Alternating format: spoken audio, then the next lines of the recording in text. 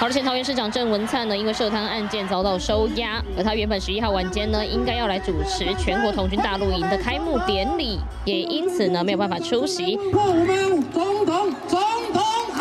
不过呢，身为总会长的总统赖清德呢，没有改变计划，还是照常的出席。不过呢，被问到郑文灿的涉贪案件遭到收押，赖清德并没有正面回应。在度的谢谢我们所有的啊贵宾们，也已经到了我们现场。而同一天晚上呢，行政院长卓荣泰则是在台北出席活动哦，被问到呢郑文灿遭到收押的消息，马上头也不回的呢离开现场。院长，郑文灿被抽裁定羁押了，你有什么看法？院长？